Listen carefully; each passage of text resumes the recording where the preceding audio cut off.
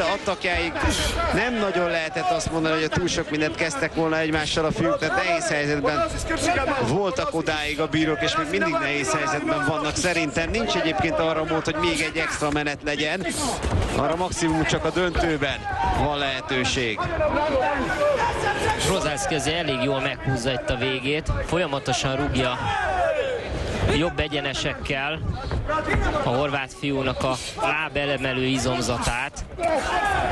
Gyakorlatilag, hogy egyrészt ne is tudjon lépni, másrészt ne is tudjon rúgni még véletlenül sem. De azért ott van még az a hátsó lábas. Hát rendesen leamortizálták egymást, szó se róla. Mindjárt vége a meccsnek, és a, a bírók sincsenek könnyű helyzetben. Talán a lengyel volt itt jobb, és megfordította, de Várnica jön előre most a végén. Érzi szerintem, hogy ez kevés lesz tőle. Benne meg már sokkal több nincsen. Most a nagy pofonzódakból kijön ki jobban. Úgy tűnik, hogy senki. Elkezdett vérezni az óra Várnicának a meccs végére. De itt a vége ennek a negyedik menetnek most már.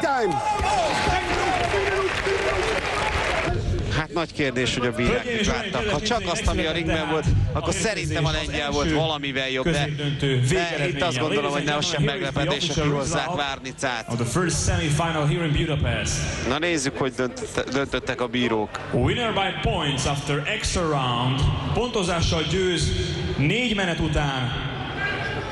In the blue corner, A kék sarokban. Martin Rozálszki, Lengyelország. Megérdemelte a lengyel, én azt gondolom, bár fölemeli Várnicát, megérdemelte a De a lengyel. tapsot természetesen megérdemli.